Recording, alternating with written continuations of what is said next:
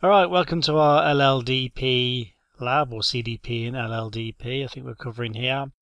I'm just using Packet Tracer, so I'll drag a 2960 to the middle, one to the top, and a uh, router to the bottom, just so we can see a couple of different devices.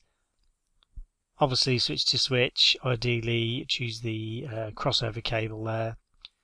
Otherwise, you have problems. Straight cable, switch to router gigabit 0 slash 0. Not that it matters which interface. You just um, remember to no shut whichever interface you've connected to on the uh, router there. And by default the interfaces will stay down on the routers.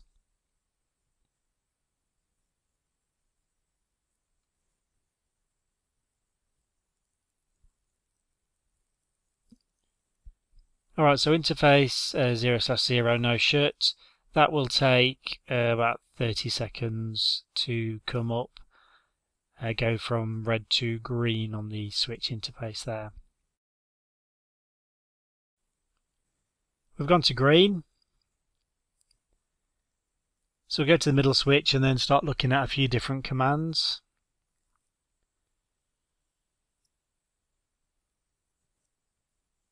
Obviously from a user mode to privilege mode, show CDP neighbors. And you can see automatically uh, we've got two neighbors showing. There's a key up there for router switch and other devices. Uh, device ID, local interface, hold time, uh, platform and remote port ID. So you can see what the entries we have here for the remote switch, which is a 2960. Here, and then the uh, remote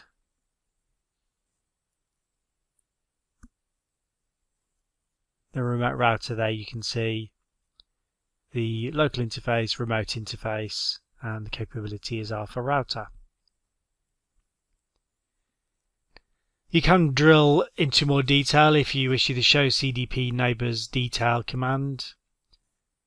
You can see um, platform, again more information on the interfaces, your IOS versions, full details of the model, if you've got management IP addresses, I think they come up as well, but I don't have any configured here at the moment. So more detailed output, duplex type also on the interface. All of this is without any IP information having been added because it's a layer 2 protocol, so don't need to worry about it.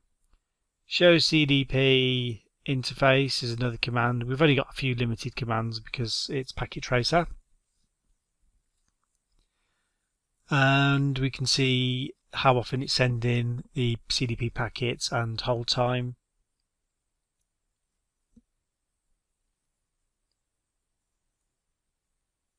Now we'll go on to the router at the bottom and no CDP enable is the command on the interface level. So this is if we just want to disable it on an interface the entry will stay until um, we clear the CDP table.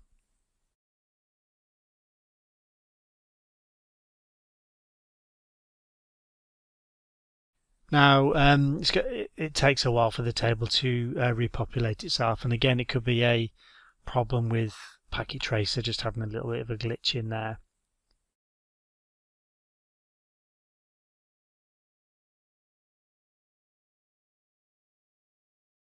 And you can see the table still isn't uh, populating. Looking at the interface, CDP is running, so that's all okay. And then I hit the up arrow and there's an entry in there. So I'm not sure whether me looking at the interface triggered it or I just had to wait for the CDP packet to be sent because it's only every 60 seconds. No CDP run disable CDP on the entire device, and then you can see that CDP is not enabled when you do any show um, CDP commands. Now, show LLDP, and you can see it's not enabled. Now, the documentation says it is enabled by default on the 2960. So it could be an IOS or it could be a packet tracer thing. Show LLD, LLDP neighbors, and there's nothing there. So what we need to do is go to our other devices and actually enable LLDP.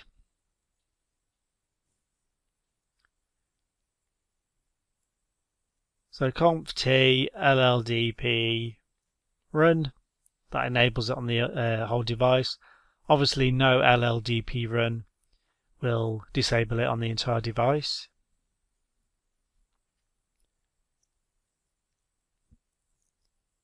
Okay, so we can see our switch here. We're going to need to do the same thing on the router at the bottom and uh, enable it.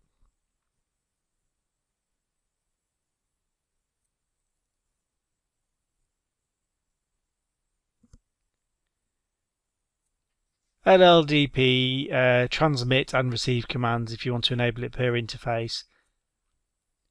Now, something strange happens when you do this. The commands say it does enable it on an interface, however, um, it still needs to be enabled on the entire device. So that's a little bit strange that um, enable it on the interface doesn't just enable it on the interface because you may only want it to run on a particular interface.